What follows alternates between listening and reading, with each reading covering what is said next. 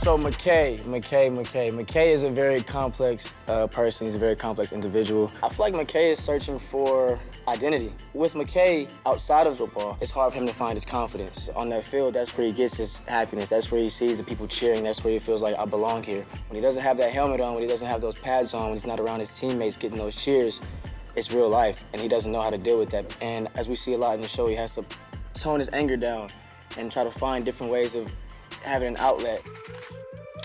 I don't know, Dad. I'm, I'm not the best. I don't know if I'm not the best, there's no way I'm getting drafted. I don't know what to do with that.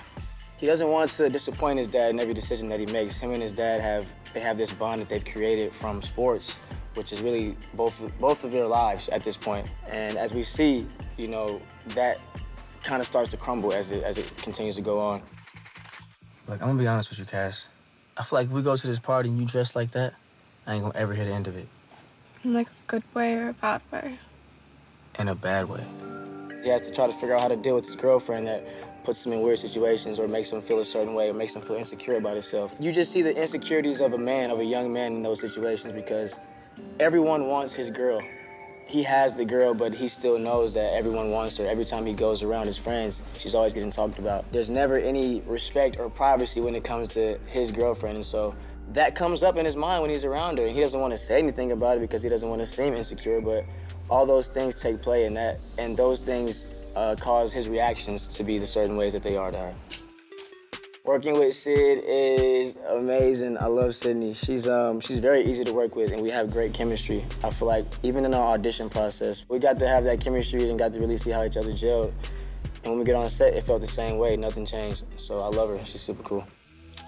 My favorite part of Euphoria, for sure, hands down, would just have to be the freedom that we experience on set. The energy is better when you have that environment to work. When I feel comfortable with my character, I feel like there are actually real life things that I relate to with my character. Things um, that I do in my personal life that we actually use for the character McKay. I'm a really big person on words. I speak my words every day. I speak like into the atmosphere. I make sure I put out there what I want to receive. And so I get in the mirror every day and I do that. And there's an interesting scene like we see in the episode McKay when he's just looking in the mirror.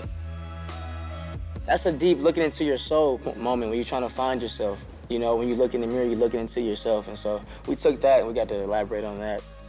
I feel like there will be a lot of people watching the show, so I just want them to understand identity. I think that's one of the hugest things. Not looking around, but looking within and really dealing with the things that you have to deal with in your life before being involved with everything else.